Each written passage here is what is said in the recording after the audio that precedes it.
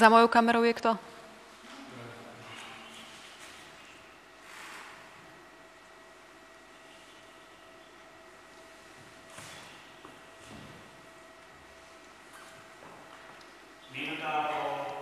Broňo, ty mi ukážeš, či sa presunieš?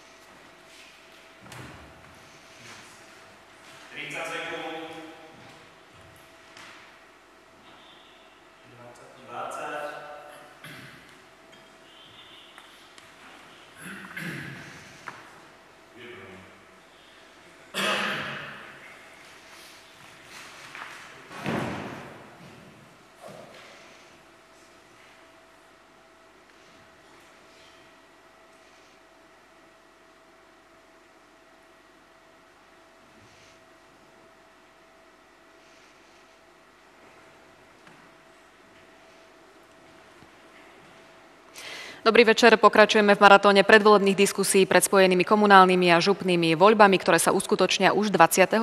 októbra. Dnes sme sa presunuli do Trnavského samozprávneho kraja z krásnych priestorov divadla Jana Palárika. Odvysielame diskusiu s kandidátmi na predsedu tohto kraja. Celkovo je o túto pozíciu záujem zo strany desiatich kandidátov, ale urobili sme si prieskum verejnej mienky a do diskusie sme pozvali len siedmých, respektíve 8, ale dvaja sa z diskusie ospravedlnili. Ide konkrétne o súčasného predsedu Trnavského samozprávneho kraja, ktorý sa zo zdravotných dôvodov ospravedlnil. Ide o Jozefa Vyskupiča a druhý kandidát Roland Haxer, ktorý kandiduje ako nezávislý, sa tiež ospravedlnil. Takže v abecednom poradí vám predstavíme kandidátov šiestich, s ktorými dnes budem viesť diskusiu. Poslanec Národnej rady Martin Belusky kandiduje za stranu Kotlebovci LSNS. Dobrý večer. Dobrý večer, ďakujem za pozvanie. Dvojnásobný podpredseda samozprávneho kraja Jožef Beréni kandiduje za stranu Aliancia. Pekný večer. Dobrý večer, prajem, ďakujem za pozvanie. Köszöntöm a tisztelt tévénézőket. Primátor Holíča už 4 volebné obdobia, poslanec Trnavského kraja, bývalý podpredseda kraja Zdenko Čambal, kandiduje s podporou SNS a Smer SD. Pekný večer. Pekný večer všetkým divákom teatry. Trojnásobný starosta obce Radkovce Martin Červenka kandiduje ako nezávislý. Dobrý večer. Dobrý večer. Predseda hnutia Občan, Národ, Spravodlivosť, súkromný podnikateľ Ivan Stanovič kandiduje za hnutie Občan, Národ, Spravodlivosť. Pekný večer. Dobrý večer, prajem. Okresná predsednička hnutia v Galante, právnička a ekonomka Veronika Temňáková kandiduje za hnutie Republika. Pekný večer. Dobrý večer, prajem.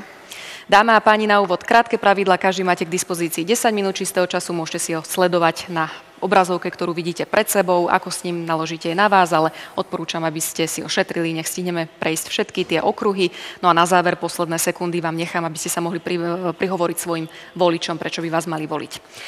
Poďme na také úvodné predstavovacie kolo, tiež dáme podľa ABCD a potom už pôjdeme v takom ľubovoľnom poradí. Pán Belusky, čo sa týka Kotlebovcov LSNS, spomína sa to popieranie holokaustu, ale ja sa teraz na to nebudem pýtať, či vám to prekáža, lebo asi by ste v tej strane neboli, ale v súvislosti s, s dvojnásobnou vraždou, ktorá sa na Slovensku stala, tak váš predseda sa vyjadroval kriticky voči LGBT komunite, môžem povedať aj výrok. Zavedieme pravidla na kontrolu obsahu médií, nedovolíme, aby boli deti oblbované zvrátenosťami, s odstupom času a s tými udalostiami, ktoré sa udiali. Nechcete to možno prehodnotiť, ten svoj postoj? No, neviem, či ako veľmi to súvisí s touto témou Trnavského samozprávneho kraja, ale v poriadku, samozrejme.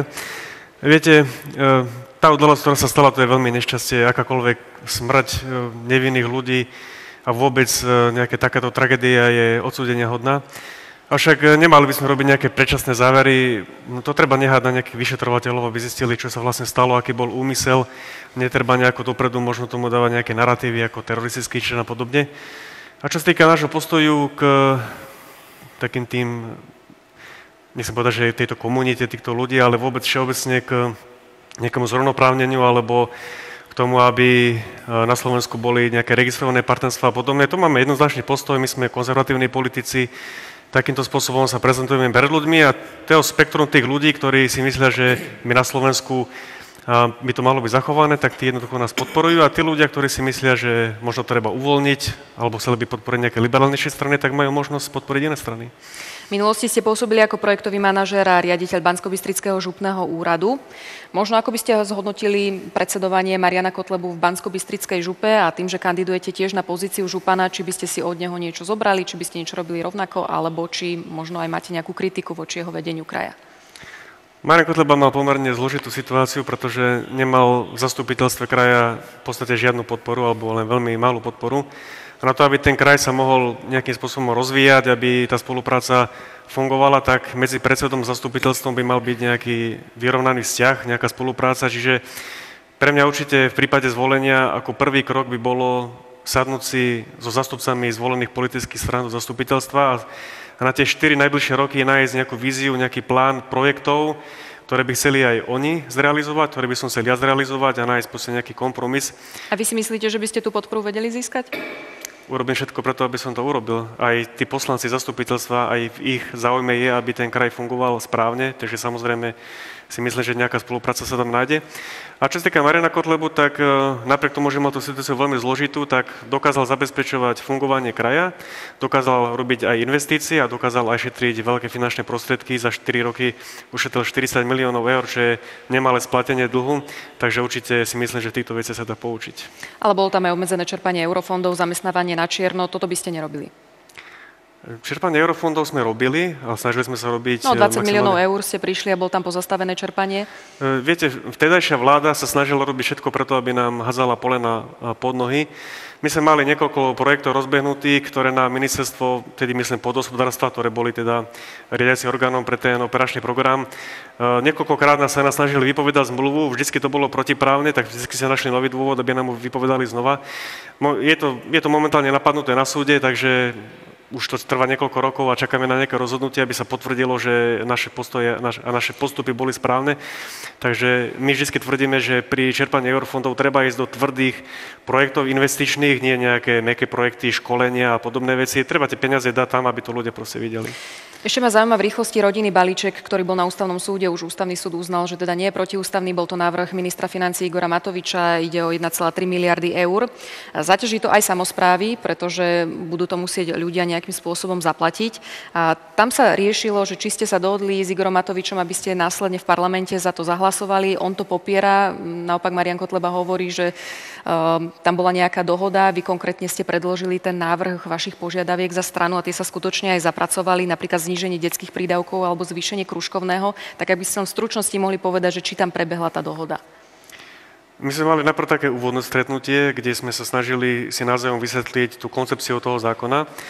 A potom v druhom kole, kedy sme my v rámci našej strany si k tomu zákonu sadli a sme si ho nejakým spôsobom uh, zanalizovali, tak my sme potom predložili nejaké návrhy, ktoré boli rozdelené na dve časti. Jedna časť boli návrhy... Stačí povedať, či bola dohoda, alebo nie, aby ste s ním mňali čas. Nie, nie, nebola dohoda. My sme proste predložili návrhy a my sme nechali na nich, či ako sa k tým, ako sa k tým veciam postavia. Boli tam Takže pán návrhy, Kotleba trošku zavádzal. Boli tam návrhy, ktoré sme povedali, že keby tam neboli zapracované, tak to nepodporíme. Ale nejak sme nežiadali od nich, aby to spravili. Dobre, ďakujem. V skratke jednou vetou úplne vaša priorita v, v prípade vášho zvolenia za župana? Školstvo, sociálne veci, infraštruktúra. Pán Berení, vašu kandidatúru ste ohlásili spolu s predsedom strany Aliancia, Kristianom Fórom, avšak vašu kandidatúru podporuje len strana SMK, ktoré ste predsedali v rokoch 2010 a 2016. Jedna z troch platformiem tejto aliancie. Prečo? Nie je to tak, pani moderátorka. Najprv teda prajem skore no, uzdravenie... sa to tak píše, tak ako to Najprv je? prajem skore uzdravenie páni Vyskupičovi. A niektorí špičkoví predstavitelia e, platformiem mali zvláštne vyjadrenia na začiatku kampane. Ale my máme posla- kandidátov na poslancov nie len zo strany SMK, ale aj zo ostatných platformiem, to znamená aj Mosthit, aj spolupatričnosť. Kampaňujeme spolu, podporujeme si navzájom, oni mňa, ja ich a zároveň som naštívil aj našich starostov, primátorov, ktorí kandidujú za stranu E, Svedček Aliancia. Čiže na úvod boli možno nejaké všetky, rozpaky, ale teraz dali, že podporujú mňa. Ešte raz. Na úvod možno boli rozpaky, teraz jednoznačne z vás podporujú Áno, všetci? samozrejme. Ideme spolu a chceme mať čo, čo najlepší výsledok. 20% obyvateľov v tomto kraji patrí k maďarskej menšine. Či to bude možno vaša priorita, čo sa týka opatrení? Nie, akože samozrejme, že zastupujem maďarskú menšinu a rámci župy sú také kompetencie, ktoré sú dôležité z hľadiska maďarskej menšiny. Ale nechcem zastupovať len maďarskú menšinu. Mám dostatočné skúsenosti, 9 rokov som pod predsedom Trnavského samozprávneho kraja, aby som pomáhal aj ostatným regiónom. A bez ohľadne na to oblasti dopravy, to je jedno, že tá cesta slúži Slovákom, Maďarom, Rómom alebo iným, ale aj oblasti sociálnej veci. Menšinová, menšinový charakter je v rámci školstva napríklad, v rámci kultúry. Boli ste poradcom... A používanie jazyka. Uh-huh. Boli ste poradcom na ministerstve e, dopravy. Poslancom parlamentu ste mali byť, ale mandát ste si neuplatnili, pretože ste boli e, štátnym tajomníkom ministerstva zahraničných vecí. Ako viete možno pretaviť tie skúsenosti aj e, do Trnavského kraja? Ako Najmä v oblasti čerpania európskych fondov. Keď som bol na ministerstve výstavby regionálnej rozvoja, následne aj na úrade vlády som sa zaoberal s tými vecami, mali sme to na starosti, my sme písali vlastne prvý koncepčný plán, na základe ktorého sme mo- integrovaný plán regionálneho rozvoja, na základe ktorého sme mo- mohli dostať prvé peniaze z Európskej únie, takže v tejto veci sa trošku vyznám. Aj sa snažím pomôcť e, župe, aby sme dosiahli čo najlepší výsledok pri čerpaní európskych fondov. Rovnako jednou vetou vaša úplná priorita v prípade zvolenia? Tak samozrejme, že v tomto období to bude energetická fiskálna finančná kríza, takže úsporné opatrenia, zavedenie úsporných opatrení a modernizácia našich budov tak, aby boli energeticky čo najúspornejšie. Pán Čambal, vy chcete obhajiť súčasne aj pozíciu primátora Holíča. Prečo kandidujete na obidve funkcie a o ktorú máte možno väčší záujem? Už som sa k tomuto vyjadril. Je to jednoznačná anomália tohto zákona, že toto umožňuje, ale na druhej strane v prípade, ju hovorím hypoteticky, pokiaľ sa zvýťazí v obi dvoch, tak si môže ten výťazný kandidát vybrať iba jednu pozíciu. E, týmto svojim krokom som upozornil na to, že tento zákon sa musí zmeniť, volebný, a ďalej som upozornil, že boli tu diskriminovaní starostovia a primátori, ktorí prirodzene neišli kandidovať do obidvoch pozícií. A na druhej strane si dovolím tvrdiť, že regionálna a komunálna samozpráva spolu súvisia. A chcete byť teda županom? Samozrejme. Holič za vášho primátorovania priklepol zákazky firme vášho brata, za čo mesto dostalo pokuty za takmer 60 tisíc eur. Išlo dve zákazky pre spoločnosť VPP Service na odvoz odpadu a výsadbu bastiónov. Dokázalo sa aj to, že ste jazdili na luxusnom Mercedese, ktorý patril spomínanej firme. Nediskvalifikuje vás to? Určite nie. Môj brat e, vyhral súťaž na dodávanie tejto zakázky, to znamená likvidácia odvoz odpadu ešte v 92. roku. Ja som bol štvrtý primátor, ktorý túto spoločnosť zdedil. Tento zákon o konflikte záujmov začal platiť niekedy až 2017-18, kedy sa rozbehli tie ataky zo strany Úradu pre verejné obstarávania. Momentálne tento spor je na súde, na, podali sme správnu žalobu. Samozrejme, že pokutu som zaplatil, alebo mesto Holí zaplatilo preto, aby sa nediskvalifikovalo z čerpania európskych fondov, respektíve finančných zdrojov z iných finančných mechanizmov. Takže nemôžem súhlasiť s tým, že tu prišlo k tomu, ako bolo deklarované v médiách. Čiže je možné, že tie peniaze ešte mesto získa naspäť? Som o tom presvedčený. Tiež vás poprosím jednou vetou, vaša úplná priorita v prípade zvolenia? Samozrejme, že tie kompetencie, ktoré samozprávny kraj má, tak musí akceptovať a rešpektovať každý jeden výťazný župan, ale na druhej strane budem sa usilovať aj s ostatnými predsedami samozprávnych krajov o zmenu zákona vyšších územných celkov. Tento je archaický, zastaralý a už dnes nekorešponduje po vyše dvoch desaťročiach s tými potrebami, ktoré samozprávne kraje majú. Pán Červenka, v podstate rovnaká situácia ako pán Čambal, tiež sa uchádzate o dve funkcie aj o starostu obce Radkovce. Prečo kandidujete na dve pozície? Lebo to zákon umožňuje, ako to povedal kolega, jednoznačne, ak sa ma potom opýtate, že ktorú funkciu si vyberiem, bude to určite funkcia župana, pretože, pretože som presvedčený, že aj obci Radkovce dokážem z pozície župana pomôcť. Ja som si pozerala dlh obce, Radkovce 47,6%, čo zverejnilo naposledy Ineko, nie je to veľa? Uh, spo, nejde o dlh a veľkosť, ide o schopnosť splácať. Pokiaľ tie príjmy sú a sú adekvátne tej sume, ktoré, ktorú sme si napožičali, ale musím povedať, že spoločnosť Ineko, ktorá zverejnila tento dlh, uh, trošku nezobrala do úvahy to, že my sme postavili bytový dom za, tento, uh, za tieto peniaze, teraz sme dlžní štátnemu fondu rozvoja bývania a to sa do dlhu neráta. Keby odrátali tento dlh, tak sme možno na úrovni pod 10%. Čiže nie je to tak, že by ste už nemali záujem o túto funkciu? Uh, viete, uh, tento dlh je len mať nájomníkov, ktorí platia. To je všetko. Ste členom predsedníctva Združenia miest a obcí Slovenska a podpredsedom regionálneho združenia miest a obcí regiónu Jaslovské Bohunice. Vás podporuje 100 úradujúcich eh, starostov v Trnavskom kraji. Znamená to, že takmer, alebo no, takmer polovica starostov nie je spokojných so súčasným trnavským županom Vyskupičom? Rozhodne. Preto ma sem poslali, ja tu zastupujem ich, ich skúsenosti a to, prečo my všetci nie sme spokojní. Ako to viete pretaviť potom v prípade vášho zvolenia? Tá úplne, spolupráca bude nejaká lepšia? Úplne jednoducho musíme začať komunikovať s územím, pretože už bola spomenutá jedna vec, že e, župy nemajú dostatočné kompetencie ani peniaze. To znamená, skúsme sa otočiť naspäť k tomu územiu a skúsme s ním komunikovať a spolupracovať a ja garantujem, že všetky ostatné výsledky sa dostavia už len tou principiálnou spoluprácou. Jednou vetou vaša priorita v prípade zvolenia? Jednu som už povedal, to je tá komunikácia a spolupracovanie. E, rozhodne medzi štyri hodnotové piliere môjho programu patrí manažerský model riadenia, to znamená zber dát, otvorené dáta a spracovanie týchto dát, aby sme nemuseli zasahovať politicky. E, partnerstvo a sieťovanie, čiže to sú tie dohody e, či už so štátom alebo s mestami a župami, a mestami a obcami a rozhodne je to politika ako služba občanovi. Pán Stanovič, hnutie Občan národ spravodlivosť sa pretransformovalo zo skupenia aktivistov občianský generálny štrajk, ktorý bojoval aj proti covidovým opatreniam.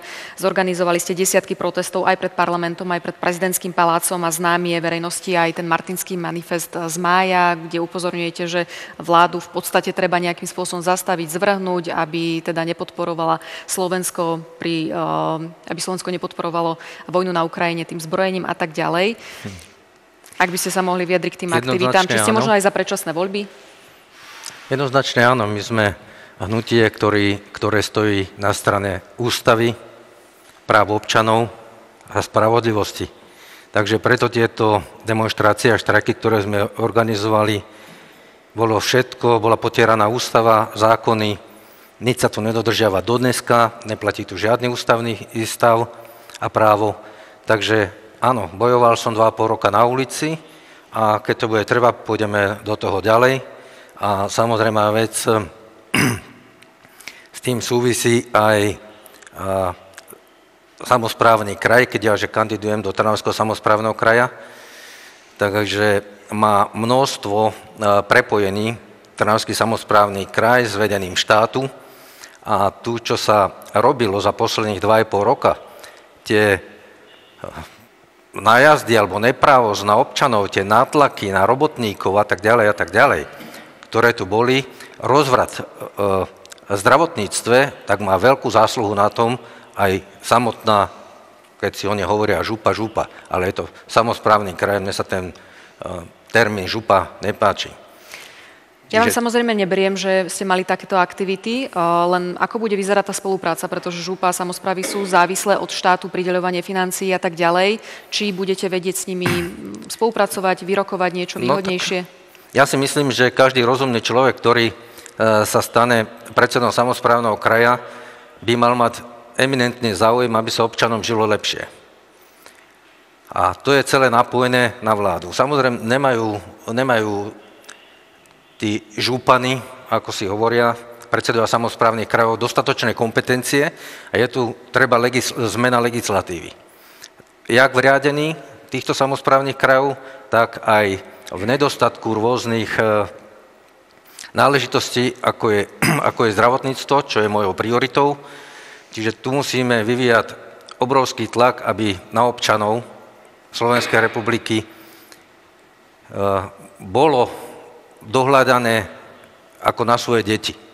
Nemôže byť, nemôže byť im prednejšie, prednejšie záujmy iného štátu alebo iných občanov na úkor nás, občanov Slovenskej republiky. Takže ja som nadstavený takto a proti tomuto budem stále, dokiaľ budem, budem bojovať za ľudí, pretože som človek z ľudu, rozumiem občanom, stretávam sa s nimi dennodenne a poznám problémy občanov a viem, čo ich trápi. Preto som v tej pozícii takej, Tú prioritu som. ste už pomenovali, zdravotníctvo v stručnosti, čo konkrétne, nedostatok lekárov vyriešiť alebo čo? Tento dlhodobý problém v zdravotníctve sa vlečie teda dlhodobo. Nie je to len, nie je to len otázka terajšku, že tu je totálny rozraz zdravotníctva. Vieme a pamätáme si obdobie, kedy na zdravotníctve sa najlepšie zarábalo, tak sa aspoň hovorilo. Tak potichučku, že na zdravotníctve sa najviac alebo najlepšie zarába. Toto sa nám odrazilo už po tejto 2,5 ročnej 2,5 ročnej skúsenosti, ktoré tu bolo COVID opatrenie a tak ďalej, toto je len vyvrcholením toho celého systému, pretože určite ani lekári, ani, ani zdravotníci alebo zdravotné sestry, niektorí si nezaslúžia to, do čoho sa dostali dnes. Môžete potom rozobrať, keď je... budeme riešiť zdravotníctvo. Chcela som na úvod stručnosť. Dobre. Pani Temňaková, vy kandidujete za hnutie Republika trošku podobná otázka ako na pána Beluského. Predsa len váš predseda hnutia Milan Uhrík e, má ten známy výrok, že nie je historik, aby sa vyjadril k holokaustu. Milan Mazurek e, musel platiť odškodné infektológovi za možno nejaké spochybňovanie covidových opatrení. E, prišiel poslanecký mandát pre rasistické reči proti rómskej komunite a tiež sú tam vyjadrenia proti LGBTI komunite. Môžem to aj citovať. Podľa mňa totiž to neexistujú žiadne transrodové osoby, sú len nejakí blázni a tak ďalej. To povedal pán Mazurek. Vám ako právničke to neprekáža? Keby mi to prekážalo, tak nie som členkou Hnutia republika. Čiže sa s tým aj stotožňujete? Nestotožňujeme sa úplne s každým jedným slovom, každý máme na to svoj názor a svoj slovník, ktorý používame. S čím sa ja stotožňujem je tiež, že teda ma mrzí akákoľvek, akýkoľvek zmárnený život nevinných ľudí, či to boli títo dvaja na Zámockej alebo mesiac predtým piati na Zochovej. Každopádne je to tragédia. A rasistické reči proti rómskej komunite? Ja ich osobne nevediem, nemám s pracujúcimi Rómami slušne začlenenými do spoločnosti žiadny problém. Nazývajme skôr tú problematickú skupinu asociálmi a medzi nimi takisto nájdeme aj iné sfarbenia pleti, nielen teda Rómov. Pôsobíte ako konateľka spoločnosti, blízke sú vám témy sociálneho zabezpečenia, pracovného práva a problémov v oblasti malého a stredného podnikania. Či to viete teda nejakým spôsobom využiť v prípade vášho zvolenia? Určite počas tejto korona totality som bola uh, donútená ako manažer, vlastník firmy uh, zabezpečiť fungovanie firmy, jej prežitie, postarať sa o svojich zamestnancov. Uh, nebolo pre mňa riešenie ich prepustiť alebo im znížiť platy na úkor toho, že by teda oni potom prišli o svoje domy nad hlavami. Takže som to krízové manažovanie zvládla, prežili sme všetci bez problémov a určite krízový manažment nás všetkých čaká, bez ohľadu na to, kto sa stane županom. Ideme opäť do ťažkých čias. A prejdeme aj na tie témy. Ešte vás jednou vetou poprosím vašu prioritu v prípade zvolenia. Okrem kompetencií, ktorá župa má, teda v každú treba rozvíjať, také niečo navyše, čo mám aj teda vo volebnom slogane, je konštruktívnou debatou k prosperite kraja. Čiže otvoriť župu občanom, nebyť viditeľný len dva mesiace pred voľbami a určite nadviazať teda konštruktívny dialog a spoluprácu ako so starostami, s primátormi, s občianskými združeniami, s každým, kto chce posunúť župu vpred. Ďakujem za úvodné kola. Poďme na tú energetickú krízu. To budete musieť riešiť všetci. Členské štáty Európskej únie sa zaviazali, že znížime spotrebu energie o 10% Župa už podnikla nejaké kroky, využila na to vlastne eurofondy. Môžeme spomenúť zateplovanie domov a sociálnych služieb pre dospelých v Hornom bare. Tam sa bude aj opravovať strecha z eurofondov. Či budete pokračovať v takýchto opatreniach zateplovanie a či chcete prispieť k tomu záväzku znížiť tú spotrebu energie. Už vás nebudem vyvolávať, kto chcete, môžete sa prihlásiť. Ak nie, tak pani Temňaková. A určite v čerpaní fondov a e, v prichádzajúcom pláne obnovy treba hľadať zdroje. Župa začala so zateplovaním, s energetickým zvýhodňovaním budov, v tomto treba určite pokračovať. E, Takisto sú určité možnosti aj takých rýchlejších, možno nie až tak efektívne úsporných opatrení, ktoré je ešte možné aplikovať, zamerať sa možno na fotovoltaiku, zvážiť nejaké tepelné čerpadlá, popri tom možno zelené strechy, vodozádržné opatrenia. Tých možností v prospech energie, ušetrenia energie a, a nejakého toho enviro dosahu je dosť. No zajtra by sa v parlamente malo rokovať o, tom, o tej zmene rozpočtu 3,5 miliardy eur, e, eur navyše, ktoré chce Igor Matovič vyčleniť. 700 miliónov by malo ísť samozprávam. Či to bude stačiť? Ťažko povedať. Najprv nech povedia, či nám zastropujú ceny a čo nás čaká od prvého prvý. Dokonca v tom návrhu sa hovorí, že 100 miliónov eur by sa mal uvoľniť tým, že už do konca roka sa nebudú vo verejnej správe rozdávať odmeny, tak možno či by ste pokračovali alebo nastavili takýto trend, že si možno znížite platy alebo bude nejaké personálne prepušťanie? Personálne prepušťanie, tak tým by som sa zaoberala, ak vôbec, keby som videla, že nejaká sekcia na úrade možno nefunguje a treba nejakú personálnu obmenu, čo z tejto pozície sa nám, my ťažko vyjadríme k tomuto. A odmeny, áno, myslím si, že župani majú veľmi luxusné platy, takže ako ja nemám Znižili problém by ste s tým. si plat? Úplne pokojne by som si znížila. Nejdem do funkcie kvôli platu. Poprosím vás, aby ste pokračovali, pán Belovský. Ja len trošku opravím, lebo zajtra my nerokujeme o tom balíku tých 3,5 miliardy eur v parlamente, ale teraz sa ide navyšovať rozpočet na rok 2022. Tie vysoké nadpríjmy daňové chcú použiť e, do tých, na tieto opatrenia a ten balíček 3,5 miliardy, to rozpočet na budúci rok, ktorý sa bude rokovať až e, v novembri. Ale čo sa týka energetickej krízy, a sa rozprávame o Trnavskom samozprávnom kraji, treba hlavne zdôrazniť to, že my musíme robiť všetko preto, aby sme nezatvorili školy, aby sme nezatvorili domovy dôchodcov a domovy sociálnych služieb. To musí byť absolútna priorita, pretože nemôžeme dovoliť, aby sa zase vzdialovali distančne, aby aby sme tú krízu v podstate, alebo tie vyššie náklady tej energie preniesli na tie domácnosti, pretože keď to vykorovanie, tú elektriku nezaplatí škola, tak to budú musieť zaplatiť tí rodičia tých detí, keď tie deti budú musieť byť doma. Čiže je to len preniesenie problému z jedného miesta na druhý. Čiže my musíme zabezpečiť fungovanie týchto inštitúcií a všetky ostatné veci budú musieť ísť do úzadia, kým sa tá situácia nevyrieši. Vaše konkrétne návrhy, ako znižiť tú spotrebu energie alebo šetriť peniaze? Sú inštitúcie, napríklad kultúrne inštitúcie, ktoré podľa mňa v čase vysokej energetickej krízy nemusia fungovať eh, alebo môžu fungovať v obmedzenom režime. Eh, neviem, či zrovna musíme siehať eh, nejakým úradníkom na platy. Ja, to by bolo treba samozrejme spraviť nejaký audit a zistiť, či sú tam nejaké možno nadbytočné miesta, ako skôr niekomu znižovať plat. Ale treba robiť samozrejme zateplovanie, treba robiť možno, možno využívať nejaké nejaké zdroje, ktoré sú obnoviteľné a treba sa na to naozaj takýmto spôsobom pozerať. No, bude sa rokovať aj o tom tohtoročnom, aj budúcoročnom, ale treba povedať, že parlament eh, nedá sa na neho spoľahnúť, pretože často nie je uznášania schopný, odkedy SAS už nie je súčasťou koalície, tak tam eh, robí obštrukcie. Ste pripravení možno, že aj na provizórium? Celé politické spektrum podľa mňa má záujem podporiť tieto balíky opatrenia. S tým nie je absolútne žiadny problém. V našom prípade, keď sa bavíme o našich poslancoch, my sa chceme najprv dohodnúť na termíne predčasných parlamentných volieb, ktoré by sa mohli konať napríklad po, po roku budúci rok. A keď budeme mať e, takúto dohodu uzatvorenú, budeme vedieť, že budeme smerovať k novým voľbám, tak potom nemáme problém podporiť všetky tieto návrhy. Ale no, kým... No vidíte, dohoda za niečo za niečo. Takže tiež tam je istota, že ten prípade, rozpočet bude V tomto podporený. prípade my nemôžeme ustupovať, pretože potreby obyvateľov musia byť na prvom mieste. A keď máme nekompetentnú vládu, ktorá nemá väčšinu v parlamente, tak jediným riešením sú predčasné voľby. A kým samozrejme tá vláda dovládne, potom budeme musieť spraviť Čiže aj za cenu toho, že by hrozilo rozpočtové provizórium, Rozpočtové provizorium je zodpovednosť, že by sa je zodpovednosť vlády. Je zodpovednosť vlády, ktorá si našla v parlamente dostatočnú podporu. Aj v rozpočtovom provizoriu sa dá fungovať samozrejme v obmedzenom, v obmedzenom režime, ale aj tá vláda aj v súčasnosti tiež funguje v obmedzenom režime, tiež investície sú pozastavené, ne, nešapá sa toľko zdrojov napríklad z Európskej únie, koľko by sa malo, čiže ono by to možno až taký veľký zásah do fungovania nebol, len treba nájsť nejakú správnu cestu. Dobre, ale v prípade, že teda by nebola splnená tá požiadavky LSNS, tak ako prípadný župan by ste vysvetľovali svojim voličom, že toto rozhodnutie ste sa rozhodli napriek tomu, že bude mest, respektíve župa v provizóriu? Župa nebude v provizóriu, provizórium bude štát, ale Trnavský Či to nehrozí, lebo nie je istota?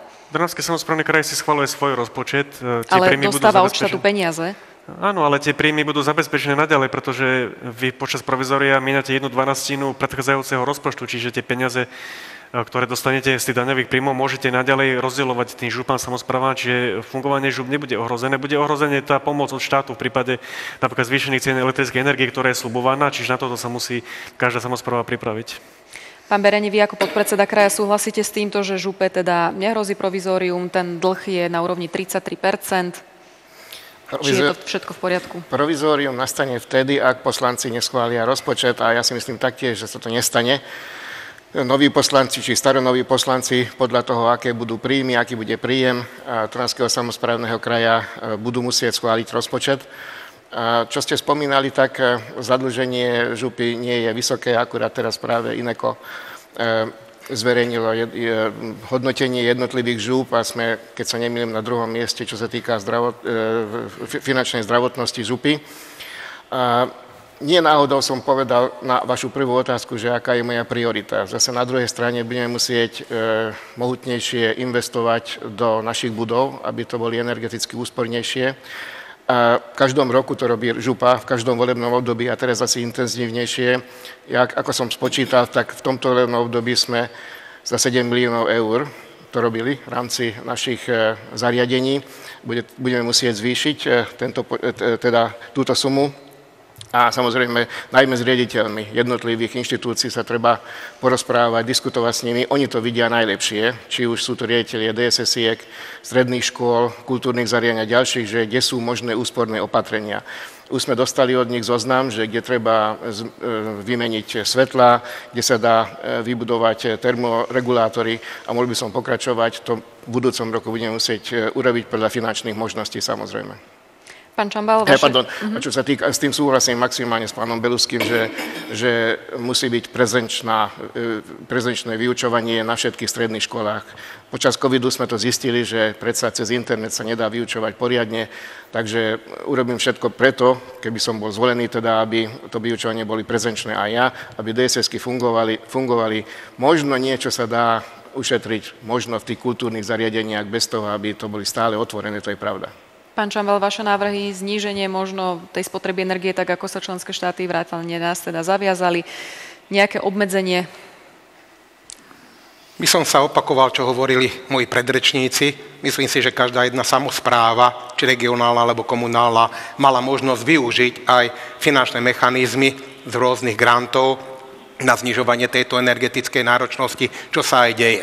Treba si povedať, že tie procesy sú dosť zložité, lebo má toto okrem iného na starosti tá Slovenská inovačná agentúra. A tam, než sa tie záležitosti všetky odobria, tak už tie rozpočty neplatia. Trvá to niekedy 12-18 mesiacov. To sú neskutočne dlhé časy. To je poprvé. Samozrejme, je to jednoznačne aj riešením tých alternatívnych zdrojov, to je bez debaty, ale nedám, aby som nezareagoval na ten dlh žúpy, viete. E, škoda, že tu nie je, ja nechcem robiť e, zo, zo súčasného predsedu Martýra, on sa kedysi vyjadril, že prevzal župu v katastrofálnom stave s dlhom 55 miliónov. Dneska ten dlh je 63. A keď som pri predchádzajúcich diskusiách, ktorá bola pred dvomi týždňami, poukázal, že to percento je vďaka iba tým vyšším príjmom, tej dane z príjmu fyzických osob, nižšie, není 33, teraz je 36, 33 bude až keď sa splatí v decembri tá splátka, ktorá je zadefinovaná my sme mali vtedy k tomu 31.12. pri tých 55 miliónoch 47%, takže asi toľko. Pán Červenka? My sme z Ozmosu upozorňovali pred rokom či vládu, či subjekty štátne a, a samozprávne, e, že toto príde. Naša župa sa už dávno mohla pripraviť, naša župa už dávno mohla mať e, nie riešenia od, od čerpadla k čerpadlu, ale mohli sme dávno mať systémové veci, mohli sme to tu mať nastavené, sme, keď vieme, koľko máme usporiť, tak už dnes sme mohli povedať, čo spravíme na budúci rok, čo bude z našich financií, čo bude z európskych financií. My tu máme ale viac problémov. My tu máme problém, že župa nie je sama pre seba. Župa je orgán, ktorý kontroluje verejné obstarávanie pri integrovanom regionálnom operačnom programe. A to na župe stojí dva roky. Župa tu má byť pre mesta a obce a spolupracovať s nimi. Ak, ak nám verejné obstarávania stoja dva roky, tak ťažko potom môžeme niečo uh, z Európskej únie prísť a efektívne spraviť u seba v obciach a mestách. Ja poviem, uh, energetická kríza je uh, krízou možno na papieri, pretože nikto nevie vlastne, v akej situácii sme, čiže ono to možno tu nafúkujeme moc veľký balón. Na a rovinu, budete robiť nejaké opatrenia? Na rovinu školy, zdravotné zariadenia a domovy sociálnych služieb musia byť, to sú priority, ktoré, ktoré absolútne sa energetická kríza nedotkne, ale ja vám poviem, že tie efektívne opatrenia, my máme na župe pozakladaných extrémne veľa SROčiek, neziskových organizácií. Ja za jednu vypichnem Krajská inovačná a rozvojová agentúra, ktorá za dva roky zhltla 2,5 milióna eur a nepriniesla jednu inováciu a, a o rozvoji sa nedá ani hovoriť. Tam sa prelievajú peniaze na letiska, na e, krajské organizácie cestovného ruchu. Proste tam je taký chaos, že vám garantujem, že tých 2,5 milióna vieme presne použiť v tejto oblasti. Pán Stanovič, ešte vás poprosím na záver. No len mrzí, že tu není e, samotný predseda Trnavského samozprávneho kraja, pretože výsledkom jeho asi kvalitného riadenia župy sú tu starí harcovníci, ktorí sú jeho podpredsedovia alebo niekoľkoroční tam poslanci župy a kandidujú vlastne proti nému. Tak to, to značí to, že tá spokojnosť tam nemôže byť. Ďalej, keď už ho, som mal ho v ústach, tak by som povedal aj to, že jeho úrad vlastne mne doručil až na moje požiadanie 22. septembra rozhodnutie o tom, že som kandidát. A to som sa ja pýtal 22. septembra. Čiže ja som si nemohol robiť volebnú kampaň, my, nemáme, my nie sme na rovnakej štartovacej čiare. Myslíte si, že to bol na schvál? Prosím? Myslíte si, že to bol na schvál? Zodpovedá za to, ja neviem. Ja neviem, či to bolo na schvál. Nebudem obvinovať nikoho. Ale keď by som tam nešiel, možno ešte dneska to nemám. Takže tu aj z tohto hľadiska pán Župan, pán Vyskupič z morálneho hľadiska absolútne nemá právo kandidovať, mal by sa zdať tejto kandidatúry a takisto mm, nesie veľkú vinu na stave zdravotníctva, aké je teraz. Dobre, čo sa týka energetickej krízy, vaše opatrenia, konkrétne návrhy? Ťažko povedať, eh, čo bude. Súhlasím aj s kolegom jedným, druhým, že je treba šetriť a tak ďalej. Uvidíme, ak budú nadstavené fondy, ak bude nadstavený vôbec rozpočet, lebo to sa môže zmeniť behom chvíľky, môžu byť predčasné voľby, tu máme za humnami máme ukrajinskú krízu. Tu sa môže dať do pohybu milión, lebo 10 miliónov ľudí a je po všetkých plánoch. Toto my môžeme tu trepať, koľko chceme, ale keď sa nás sem navalí milión občanov z Ukrajiny, tak skončí všetko. Skončia všetky plány, a bude boj o prežitie, nastane na Slovensku. Takže plánovať, to sú také reči dneska. Čiže zatiaľ nemáte konkrétne opatrenia, počkáte si, ako sa bude vyvíjať situácia. Ťažko povedať, ako sa bude vyvíjať situácia. Ja iba tvrdím, že si počkáte teda na ten vývoj situácie, ano. zatiaľ žiadne proaktívne ano. opatrenia. Ošetrení a tak ďalej, toto bolo povedané, zbytečne by som sa opakovala. Dobre, stačí mi. Ďakujem. Pán Bereň, vy ste chceli reagovať? Ako podpredseda by som rád reagoval niektoré veci. Ohľadom tých rozhodnutí, ktorých som bol súčasťou, samozrejme, že budem aj obhájiť. E, čo sa týka zadlženosti, tak oficiálne čísla je 36% My sme mali tento materiál na poslednom zasadnutí zastupiteľstva, e, odsúhlasili sme tento materiál ako informačný. Podobným spôsobom tie inštitúcie, či už SRO, SROčky alebo ďalšie, ktoré boli založené, tak boli všetci tieto inštitúcie odsúhlasené v rámci zastupiteľstva v rámci dozornej rady a správnej rady, ale najmä dozornej rady sú členovia zastupiteľstva, teda poslanci. A zároveň všetky tieto inštitúcie musia podávať e, hlásenia, informácie o tom, že čo spravili. Podľa mňa jeden z najúspešnejších, čo sme založili, to bola práve e, KOCR, teda pre cestovný rok, čo sme založili, má konkrétne výsledky. Napriek tomu, že sme mali covidové obdobie, sa podarilo nám zvýšiť aj cez KOCR, takže cez tento, túto agentúru cestovného ruchu alebo Združenie e, cestovného ruchu sa nám podarilo zvýšiť návštevníkov v našom kraji vždy, vždy každá župa, alebo každý župan má svoje predstavy, že akým spôsobom sa dá založiť takéto úvodzovkách outsourcové, teda vonkajšie inštitúcie. Ja som bol vždy za to, aby, aby áno, keď to založíme, tak nech je tam veľmi prísna kontrola zastupiteľstva a poslancov. V tomto volebnom období e, sa to darí, podľa mňa. Dáma a páni, prejdime na dopravu. Ešte si chceli, pán Červenka? Chcel som trošku zareagovať, pretože uh, pán podpredseda spomenul KOCR-ku. E, krajskú organizáciu cestovného ruchu. Mňa, mňa nemrzí založenie KOCR-ky, mňa mrzí prelievanie peňazí z jednej do druhej. Prečo župa, keď si chce niečo objednať v KOCR-ke, posiela to cez Kiru? Dajte si kira.sk, to sú absolútne dostupné informácie, ja tu nehovorím o ničom, čo by neboli fakty. A keď tam máme 2,5 milióna eur, tak ja si myslím, že tuto máme presne tie zdroje, ktoré potrebujeme. To je všetko. Prejdeme teraz na tú dopravu. Opäť e, pri vás, pán Berení, sa zastavím. Ste tu ako podpredseda, tak musím sa pýtať na tie aktuálne e, situácie. Cestný most v Hlovci, ktorý župa odstavila pre rekonštrukciu. Pán Vyskupič tvrdí, že v novembri bude obnovený. Stihne sa to? Tak e, podľa dodávateľa stihne sa to. Samozrejme, že keď sa nič zvláštneho nestane, tak do novembra by mali otvoriť pre motorové vozidlá most. Je tam problém s preplatením nákladov z fondov Európskej únie? Zatiaľ nie. Áno, to treba zdôrazniť, že most je upravený prostredníctvom európskych fondov. 5,5 milióna, keď sa nemýlim, sme na to získali, takže zatiaľ nevidím tam žiadny dôvod, prečo by sa to nedalo preplácať cez eurofondy.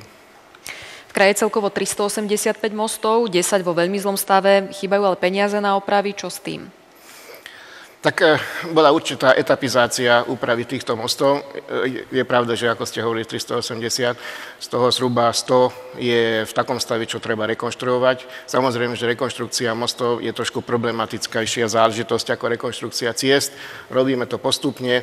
Vidíme, že to väčšinou vyvolá negatívnejšie reakcie ako oprava ciest, lebo však asfaltovanie ešte neznamená, že zablokujete cestu, ale pri úprave mostu je to niekedy zablokovanie veľmi dôležitých ciest do, hlav, do teda okresných e, miest a z toho dôvodu to robíme trošku opatrnejšie, ale čiastočne sa to robí podľa, mož, podľa finančných možností.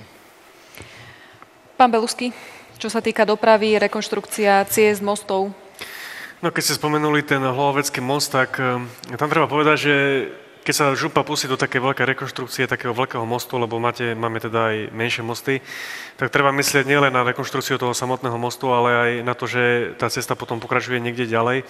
A tento most je veľmi vo veľkej miere využívaný pešimi, teda na pešo, pretože ľudia chodia buď do obchodného centra alebo do práce po tomto moste a je podľa mňa nešťastné, že sa nemyslel na to, že by sa tie chodníky rozšírili potom aj smerom do mesta napríklad ku korovému objazdu. Čiže podľa mňa také zbytočné nepremyslenie toho projektu a potom sa to bude musieť dodatočne robiť e, oznova. A keď sa bavíme všeobecne o mostoch, e, to je, to je problém, ktorý sa tu veľmi dlhé roky zanedbával aj zo strany štátu, aj zo strany samozpráv. Väčšinou, keď sa dávali peniaze do dopravy, tak sa rekonštruovali cesty a tieto mostné objekty boli ako keby v nejakom úzadí. A vzhľadom na to, aké máme počet tých mostov, e, nielen na úrovni samozprávneho kraja, ale vôbec štátu, e, je potrebné vytvoriť mechanizmus, ktorý zabezpečí ich pravidelnú obnovu v určitých cykloch, napríklad 20-30 rokoch. A na to jednoducho dnes samozprávy peniaze nemajú a keď sa došepajú eurofondy, tak e, vznikne nový problém, ktorý sa bude musieť na rovni štátu vyriešiť. Pán Čambal? Začal by som asi takto. Súčasné volebné obdobie bolo 5-ročné. Súčasný predseda začal s nejakými zmluv, e, slubmi nenaplnenými. Či už to je Hlohovec most, obchvat Jablonica, Senica, Holíč. Čo sa týka samotných mostov, tieto sluby boli nenaplnené. Čo sa týka samotných mostov, áno, musím súhlasiť s predrečníkmi, jeden most, oprava je zhruba 10 kilometrov opravy ciest. V januári bol založený fond dopravnej infraštruktúry, to znamená Vúcky SK8 spolu s ministerstvom dopravy, ale odtedy sa neudialo nič. A proste tento fond dopravnej infraštruktúry mal riešiť ten technický a investičný dlh, ktorý bol nielen na dopravnej infraštruktúre, to znamená líniových e, stavbách cesty, ale aj týchto mostových zariadeniach. Ani jeden samozprávny kraj na Slovensku nemá takú finančnú rezervu, aby bol schopný riešiť tento zanedbaný technický stav mostových zariadení. A rekonštrukcia z vašej strany, či to bude priorita? Ešte raz? Rekonštrukcia, či to bude vaša priorita, čo sa týka ciest, mostov? E, rozumiete, čo sa týka samotných oprav ciest, to by som ani nedával do priorit predsedov, to je referenská záležitosť. Samozrejme, mostové zariadenia a mostové stavby je niečo iné. Tento fond bol založený relatívne dobre, je treba riešiť na úrovni ministerstva dopravy, respektíve ministerstva financií, aj relevantné finančné zdroje, aby boli do tohto fondu naliaté a tie sa proporcionálne rozdelili do všetkých krajov. Pán Červenka? Rekonštrukcia mostu v Lohovci je až B. To A bolo nie vyriešiť rekonštrukciu mostu alebo jeho technického stavu. To A pred voľbami od Jozefa Vyskupiča bolo nový most a vyriešenie dopravy v Hlohovci. Čiže toto úplne zabudnime, ak bola spomínaná Senica, ako bol spomínaný Holíč, ale aj viacej vecí, ktoré... A rekonštrukcia samotného mostu, ako keď Máme lávku Mikulčice Kopčany, tu sme vedeli spraviť, úplne bez problémov z európskych zdrojov, tak my sme nedokázali spraviť takú istú lávku v Lohovci a namiesto toho na starý most, na zrekonštruovaný most chystáme nejaké meter a pol e, železnú konštrukciu, meter a pol širokú železnú konštrukciu pri cyklotrasy. Podľa mňa absolútne nezmysel, ja neviem, kto toto aj vymyslel. Robíme ho na jar, keď to je v zátopovom období, a ten most je spol, z postavený v zátopovej oblasti, že to bola úplná náhoda a aj dobre, že sa to tak stalo, že sme tu tie zátopy, že sme tu tie povodne nemali. Čo sa týka uh, rekonštrukcií Viete, uh, môžete povedať, že ste ich zrekonštruovali hoci koľko. Ak to, ako to bolo povedané, to nie je vec podľa mňa župana. Ak máme správu držbu ciest a máme nejaký plán uh, týchto rekonštrukcií, tak to budú robiť na správe údržbe ciest a malo by to byť len požehnanie, požehnané z uh, zastupiteľstva, presne ďakujem, zo zastupiteľstva, kde súhlasia s tým, ako to oni navrhli. Potom sa nebudeme chváliť, mám tu dvoch kolegov, ktorí tomu úplne rozumejú, 25 eur za meter štvorcový cesty, to myslel pán Vyskupič vážne? To, to, to je nerealizovateľná cena. Ja neviem, čím sa teraz chválime. 208 km za 25 eur. Neviem, povedzte vy páni, že či, pán podpredseda, že či to je vôbec reálne. E, čiže rekonštrukcia ciest áno, ale nie na úrovni župana. Pán Stanovič? Tak my vždycky riešime veci, až keď sa, jak sa hovorí, keď je rozliaté mlieko. O, o moste e, v Lohovci sa rozprávalo už niekoľko možno 10 ročí, že by mal byť aj druhý most cez Hlohovec. Ale už, čo si ja pamätám, za novej doby už dvakrát bol rekonštruovaný a stále to nie je ono. On je dlho bude rekonštruovaný tento starý zase ten most, pretože sú tam staré nosné piliere a tak ďalej. Ale už Hlohovec mohol mať za 30 rokov druhý most, čo by robil obchádzku e, mesta Hlohovec a nie je tento most, ktorý vedie do centra mesta. Čiže dokopy to nič nerieši, akurát, že sa opraví, spraví sa tzv. fasáda a bude to fungovať ďalej niekoľko rokov a sa k tomu zase vrátime. Ale problém to nevyriešilo. Toľko k mostu. Takže nebudete nejakým spôsobom sa usilovať o rekonštrukciu mostov, ciest? No, celkové, keby sme sa mali usilovať o rekonštrukciu mostov, tak bez debaty, keď budeme mať na to peniaze. Ale ako ste aj vy na začiatku povedali, máme 10 mostov, ktoré sú v katastrofálnom stave. A to bude určite nutná komunikácia s ministerstvom dopravy a tieto mosty bude treba spraviť, čak nemôžeme čakať na to, kedy sa most prevalí, alebo sa stane nejaké nešťastie. Takže to je vec župana alebo zastupiteľstva, aby robili tlaky na vládu alebo na ministerstvo dopravy. Musíme sa venovať týmto vecám. Pani Temňaková. Plne súhlasím s predrečníkmi. Cesty druhej a tretej triedy dostali samozprávy do vienka od štátu veľmi investične poddimenzované. Tlačíme pred sebou obrovský investičný dlh. V desiatkých rokoch sa na cestách a na mostoch nič nedialo a naozaj je naivné si myslieť, že samotná župa bude mať dostatok finančných prostriedkov na to, aby toto riešila. Takže v momentálnej situácii je jediná možnosť hľadať čo najviac zdrojov v rámci nejakých grantov, víziev, eurofondov, na toto sa treba potom spojiť spolu s primátormi a starostami, aby sme si s tým pomohli, spolu zatlačili aj na uh, ústredné orgány štátnej správy, aby nám tie eurofondy odsýpali a boli realizovateľné. Čo sa týka dopravy tak trošku viacej. Ten spomínaný obchvat v Senici, Jablonice, je to cesta prvej triedy. To znamená, opäť narážame len na tú spoluprácu a na ten spoločný tlak primátorov a starostov. My tam nemôžeme spraviť vlastnú cestu prvej triedy a obísť Senicu. Môže to spraviť ministerstvo dopravy. Momentálne do roku 2028 to nie je priorita vo výstavbe, hoci úrad pre uh, tie finančnú hodnotu povedal, že teda áno, malo by to byť prioritou, hej, ale prikázal vypracovať nejakú, prepracovať analýzu z 2017. Takže takéto drobnosti, ale opäť len spoločným tlakom dokážeme, alebo máme šancu dokázať a niečo zmeniť. Takisto v rámci e, dopravnej infraštruktúry e, myslím si, že nám chýba cesta prvej triedy na juh, juhom vedie cesta e, od Bratislavy vlastne polovice se západo-východná, alebo teda východo-západná, ale chýba nám ťah vlastne celá kamionová preprava dole na Maďarsko nám chodí po našich cestách druhej a tretej triedy cez obce a cez mesta. A tie sú není konštruované na takúto veľkú záťaž. Čo sa týka verejnej dopravy, tak e, ľudia, ktorí dochádzajú za prácou do Bratislavy, chodia v podstate autami, lebo tam chýba to napojenie na bratislavský integrovaný systém. Čo sa týka vlakovej dopravy, tak tam sa menil grafikon v Piešťanoch a Leopoldove nestoja. Či aj týmto smerom budete viesť rokovania možno s ministerstvom dopravy, alebo nejakým spôsobom vy sa budete snažiť sprostredkovať tú dopravu? Pani Temňaková.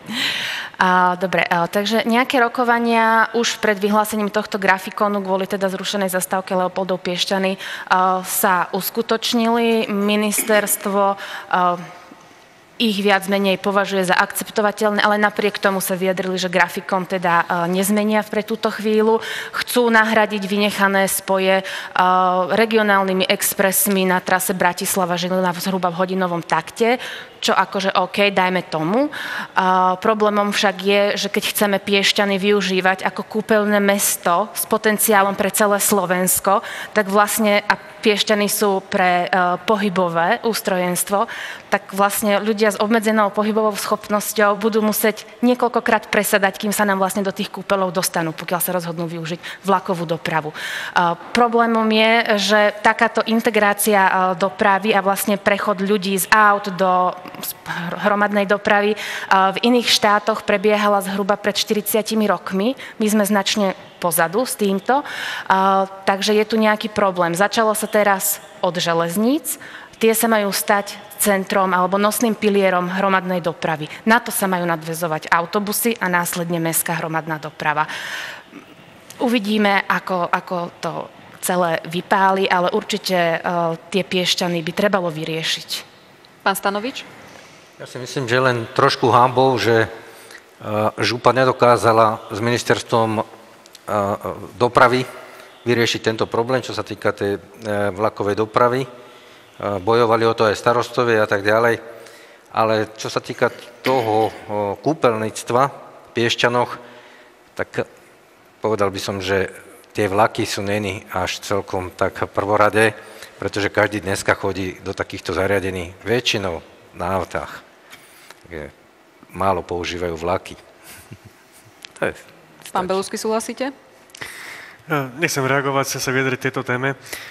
Ako som hovoril, my potrebujeme predčasné parlamentné voľby kvôli tomu, že toto je presne príklad toho, to, rušenie, to plánované rušenie zastavok Piešenok a, a v Leopoldove, aká je strašne toto vláda nekompetentná, pretože máme v prvom rade podporovať, aby ľudia chodili viacej na vlaky, aby, viac, aby sme znížili tú automobilovú dopravu a to nerobíte tým, že zrušíte nejaké vlakové zastávky, čiže ideme presne opačne.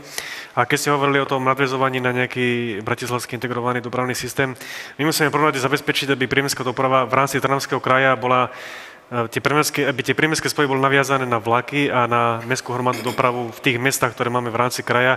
To musíme zabezpečiť ako prvé, až potom sa môžeme napiať na nejaký ďalší systém. Pán Bereni?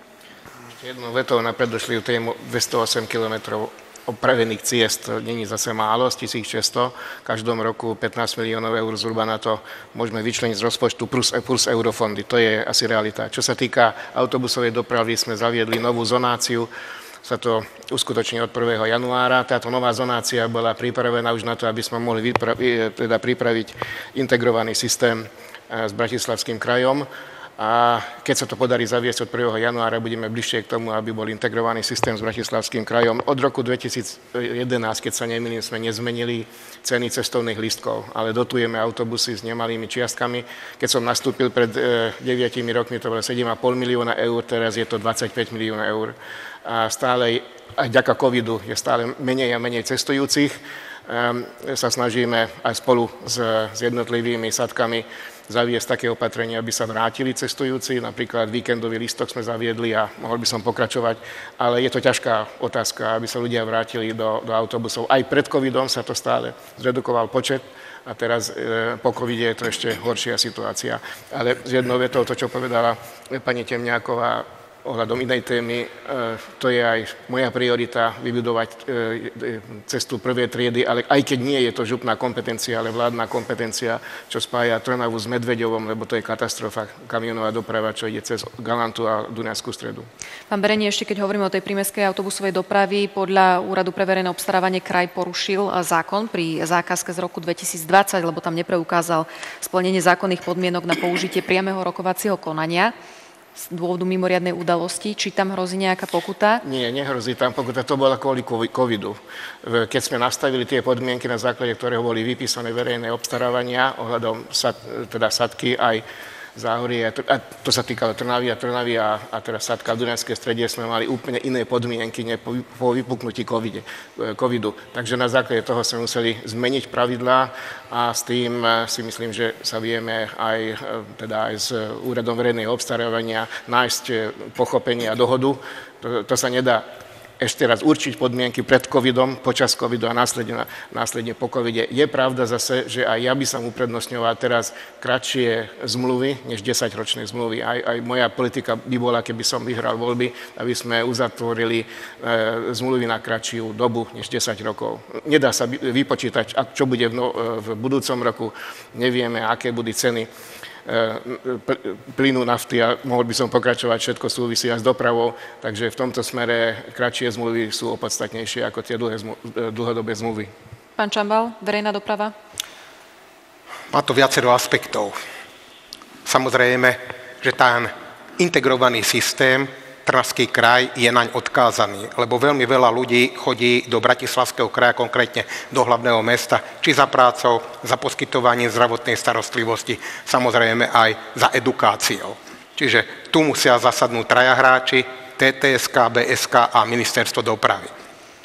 Čo sa týka tej kritizovanej prímeskej hromadnej dopravy, vyrovnávame nemalú stratu, tak ako sa vyjadril pred chvíľou kolega Beréni, bolo to kedysi 7-8 miliónov eur za rok, teraz je to 25 v tom verejnom záujme a to verejné obstarávanie, ktoré je nastavené a už trvá 3,5 roka, je v Európskom vestníku na dobu 10 rokov, je dneska anomália, sa proste nedá zrealizovať, dopadneme jak v Žiline, ten istý modus operandi, alebo to, čo urobila Bratislava s Arivou, že tam tie spoje poda, ktoré skolabovali a nefunguje to tak, ako by to malo. Bol, dozvedel som sa, že tu bola ponuka napríklad zo SAT Dunajská streda a myslím si, že k tomu sa prikláňa aj Skan Skalica, ponúknuť svoje stroje a všetko proste tie, ten hnutelný majetok, autobusy a tak ďalej za jedno symbolické euro, lebo de facto už zo strany samozprávneho kraja boli tieto, tento hnutelný majetok zaplatený, lebo vlastne vyrovnávame tú stratu v tom verejnom záujme. A myslím si, že máme priestor aj možnosti, aby sme túto prímeskú dopravu realizovali a vo vlastnej réžii. Pán Červenka? Budem trošku kritickejší. Doprava vo verejnom záujme. Župa nemá absolútne žiadne dáta, kam sa pohybujú ľudia, čo potrebujú, robí, to sa robí absolútne na kolene a keď ich má, tak sa potom pýtam, kde sú a prečo sú není zverejnené. Čo znamená integrovaná doprava, to by bola moja druhá otázka, keďže my nevieme o žiadnych záchytných parkoviskách, ktoré by župa robila. Ja sa pýtam, kde v Trnave nastúpi tisíc ľudí na vlak. Kde nechajú auta, alebo ako tam prídu tí ľudia mimo Trnavský, čiže podľa mňa to je obrovský problém, ktorý dneska si tu len akože pekne hovoríme, ale inak je to e, na bode nula. Čo sa týka verejného obstarávania, e, Pán podpredseda, si si istý, že nehrozia žiadne pokuty, pretože podľa mojich informácií ako spackané verejné obstarávanie na Žiline a u nás to robil ten istý človek. Takže tam, keď nehrozia žiadne pokuty, to by som bol veľmi prekvapený. A čo sa týka vlakovej dopravy, ak niekto povie, že vlak nie, tak potom ja si s tým nemám veľmi e, v tejto téme čo povedať, pretože vlak je absolútne najlepšia doprava, hromadná doprava. Ja poviem, že už keď ten Hlohovecký most je, je zničený, alebo teda nefunguje, tak my sme dostali ľudí do, do vlaku. Ako sa snažíme udržať týchto ľudí vo vlaku? Ako im povieme, že už nechoďte do aut, pretože keď sa spustí tento hlohovecký most, tak tá, ten problém dopravný, ktorý vznikne v Hlohovci, bude presne taký istý, ako keď ho zavreli. Už nebudú mať problém Piešťany a Sereď, už znova bude mať problém Hlohovec. Absolútne nevyriešená doprava. A čo sa týka novej súťaže, ja by som sa prikláňal kľudne aj k 10-ročnej zmluve a poviem takú maličku pikošku, ktorú by som do toho dal. Ak dopravca nedokáže previesť na ročnej báze, na polročnej báze, to treba naozaj odborníkmi nechať, nech, to, nech e, ten systém nastavia, ale musíte previesť viac ľudí v kvalitnejšom prostredí. Toto celé dostať do verejného obstarávania. Ja viem, že to je veľmi zložité, ale župa za 5 rokov nedokázala spraviť ani čiarku a ja hovorím, že dostane pokutu. Pán Stanovič? Ja posuniem kolegynke, mám málo času už. Nechcete sa vyjadriť k tejto téme, necháte si to možno na zdravotníctvo. Pani Temňaková, ešte niečo dodať? No, sme začínali, neviem, či ešte niečo k tejto téme. Nič, čo tu odznelo, čo sa týka tých pokút možno, pán Belusky? Ja by som sa nadviazať na pána podpredsedu Berenieho, ktorý tu spomínal tie dlhodobé zmluvy, lebo treba v oblasti dopravy spomenúť ešte jednu zmluvu, a to je zmluva na dodávku posypového materiálu, ktoré potrebujeme na cesty 2. a 3. triedy, ktorá bola vysúťažená cez verejné obstarávanie na 4 roky dopredu. Bohužiaľ teda súčasnému, teda budúcemu vedeniu už vlastne tá zmluva je zabezpečená, ale keby pán Vyskupič e, nebol nekompetentný, tak by vedel, že posypový materiál sa dá nakúpiť cez komoditnú borzu v Bratislave, cez ktorú dnes nakupuje napríklad Národná dielničná spoločnosť alebo bansko samozprávny kraj. A rozdiel tej ceny, na ktorú mohol kúpiť ten posypový materiál cez komoditnú borzu Bratislavy a, cez, a tú cenu, cez ktorú to kúpili cez verejné obstarávanie, je 1,8 milióna eur, čiže ďalšie vyhodenie peniaze do, vzduchu, do vzduchu zbytočne. Prejdeme na zdravotníctvo Začnem teda vami, pán Stanovič. Je to vaša priorita, akým spôsobom chcete nájsť chýbajúcich lekárov? Je to problém celoslovenský? Prečo by mali práve v Trnavskom kraji pracovať a Je to celoslovenský problém a musíme preto niečo robiť, ale už sme mali robiť dávno. Nie až teraz, keď je rozliaté mlieko. Určite treba motivovať mladých lekárov e, so stabilizačnými bytmi alebo nejakým náborovým príspevkom, e, usilovať sa o zmenu legislatívy.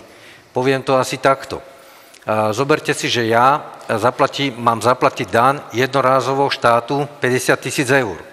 Prečo si ja túto dan nemôžem odpísať jednorázovo, keď by som chcel pomôcť zdravotníctvu, že chcem zakúpiť nejaké prístroje a tak ďalej, bolo prístroj. Každý, každé mesto, každý okres má spustu podnikov a firiem, ktorí by na toto pristúpili.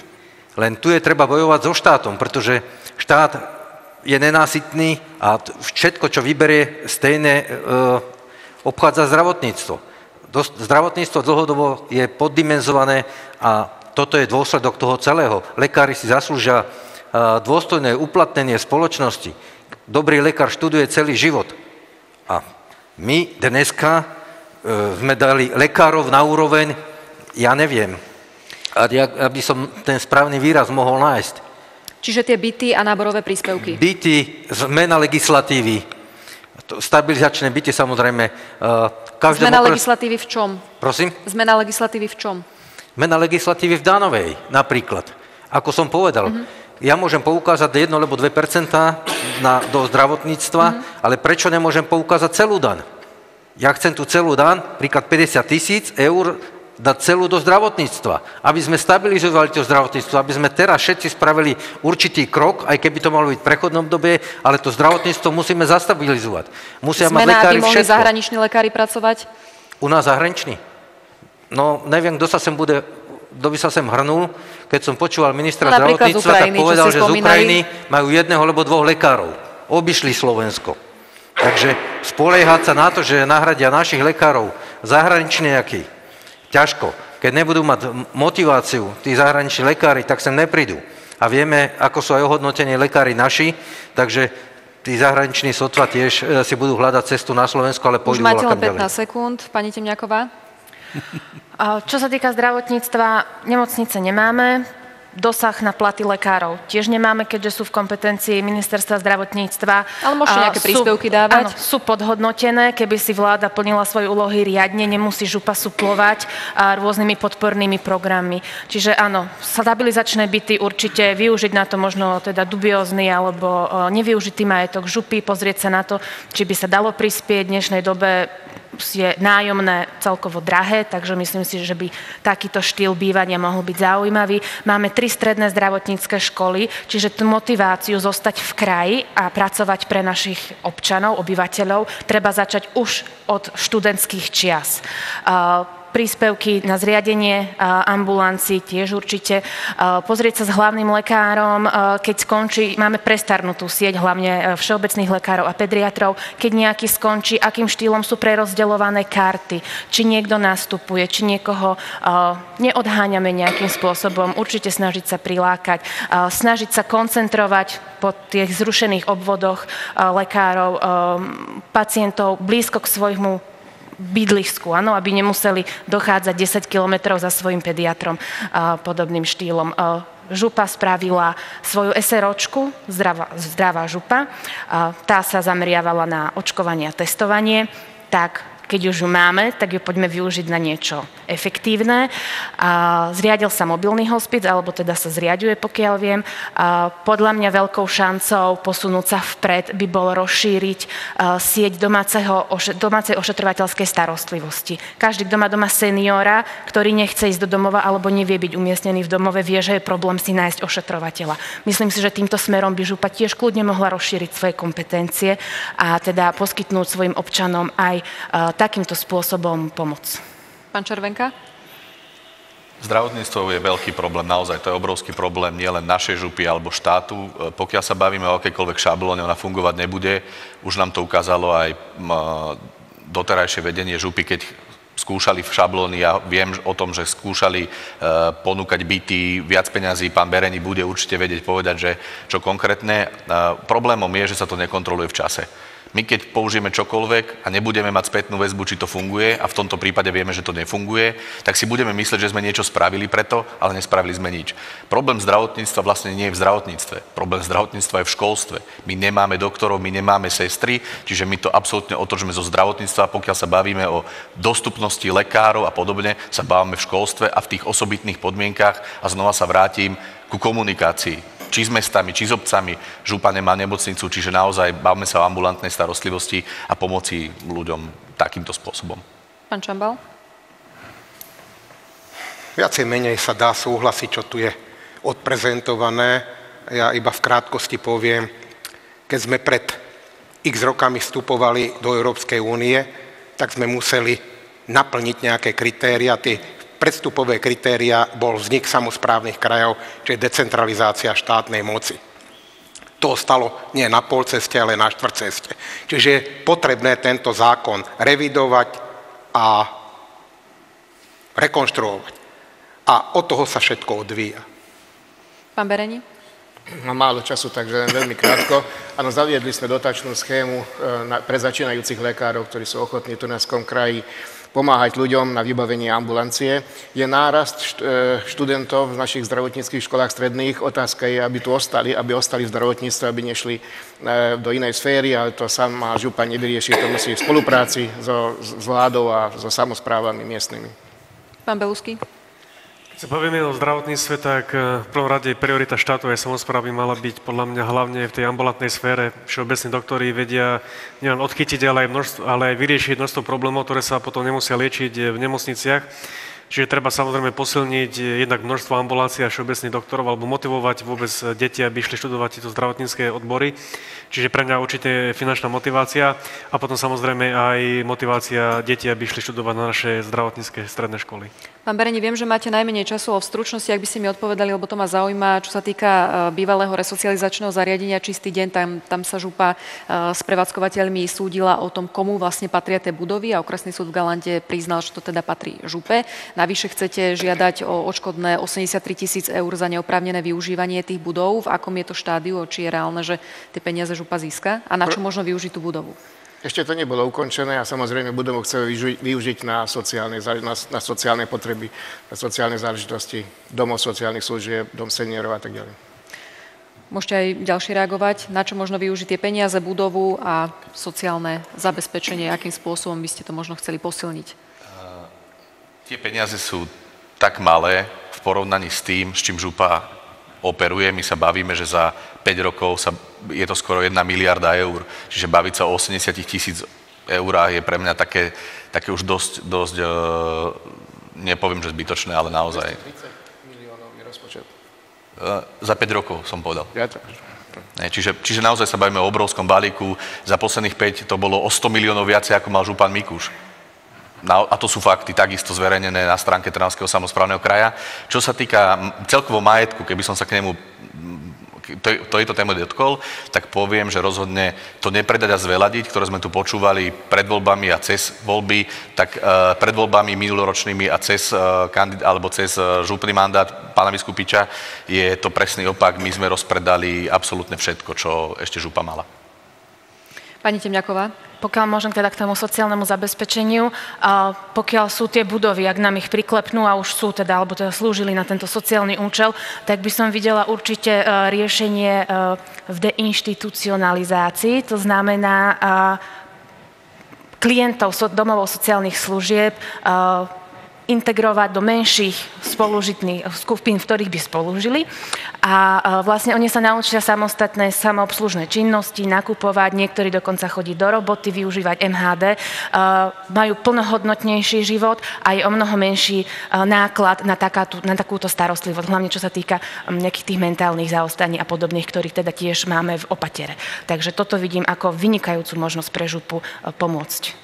Pán Čabal, pomôže to župe a prípadne vaše návrhy, čo sa týka sociálnej oblasti? Samozrejme, treba si uvedomiť, že národ stárne. Áno. A ten počet sociálnych zariadení pre seniorov je relatívne malý.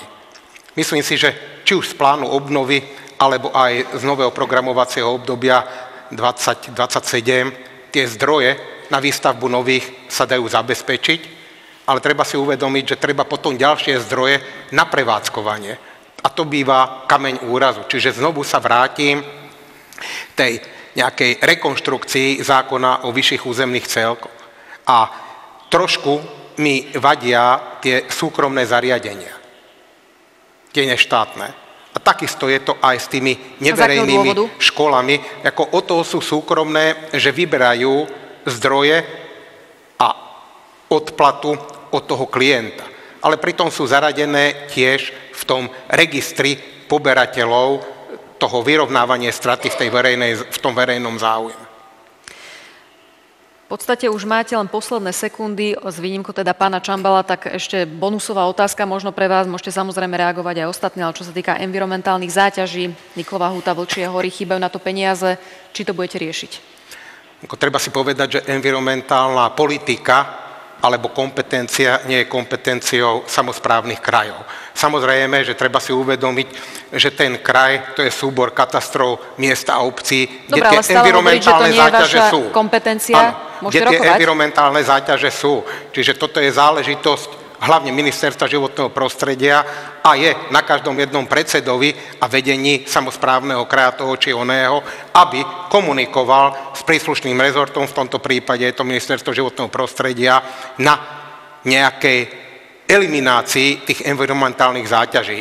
Uviedli ste tam jednu, čo je x 10 ročí, a to je tá niklová halda pri Seredi, pred tými tromi či štyrmi desiatkami rokov neboli ešte také technológie, ktoré by mali možnosť vyťažiť z tej haldy ešte to, čo tam ostalo. Myslím si, že v tomto období to je a takisto by sme mohli pokračovať pri tých rôznych iných environmentálnych záťažiach, že ešte sa dá v rámci toho kvázi, jak niečo podobné, jak separovaný zber, ten zdro, tie zdroje z toho vyťažiť. Ale snažili by ste sa to teda riešiť? Samozrejme.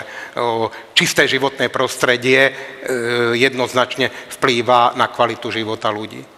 Dáma a páni, posledné sekundy, ktoré sú určené pre vašich voličov, toto je váš čas. Nech sa páči, pani Temňaková. Vážení voliči, vážení voliči Trnavského samozprávneho kraja, uchádzam sa o funkciu predsedkyne tohto nášho krásneho kraja. Mojou víziou je nadviazať, ako som hovorila, konštruktívny dialog naprieč celým krajom, to znamená obyvateľmi počnúc, starostami, primátormi a v mnohých veciach spolupracovať a vyvíjať tlak na vládu, lebo v niektorých oblastiach len vláda môže odstrániť či už tie environmentálne záťaže, alebo pomôcť s obchvatmi.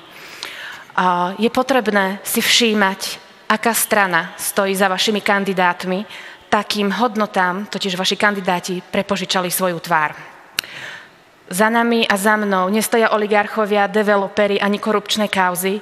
Ja vám ponúkam kraj tradičný a hrdý. Preto voľte číslo 9. Ďakujem. Pán Stanovič? Tak vážení spoluobčania, ja nekandidujem kvôli sebe, kandidujem kvôli občanom, kvôli ľuďom, ktorým ja rozumiem. Stretávam sa s nimi bežne na uliciach, viem, čo potrebujú. Takže voliči by si mali dávať dozaj skutočný pozor. Poprosím ukončiť myšlienku. Kto stojí za ktorými kandidátmi a koľko do nich leje peňazí a na toto by mali hlavne teda byť dôslední.